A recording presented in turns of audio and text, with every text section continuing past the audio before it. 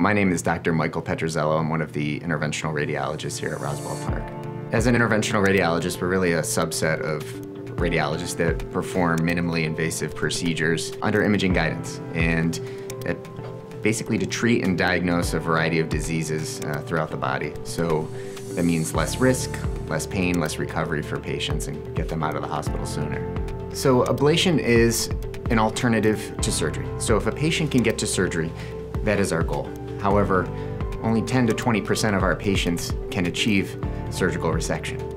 And ablation is used when we're dealing with a small number of tumors in the liver. We usually say three or less. And that would be the ideal patient, either if it's primary or metastatic. So ablation is really an umbrella term we use, meaning that we use imaging guidance to direct uh, a needle into the tumor within the liver. And from that needle, we direct an energy to kill the tumor. And the energy can be a variety of things. We talk about thermal ablation, which means that we can apply heat or cold through the needle to either burn or freeze the tumor.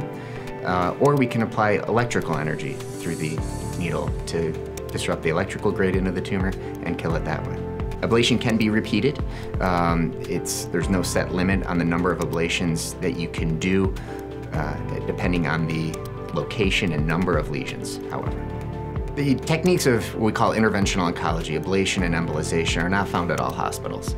It really, there's a lot of nuance to the procedure. It's important to come to a center that uh, specializes uh, in these procedures and has a lot of experience in it.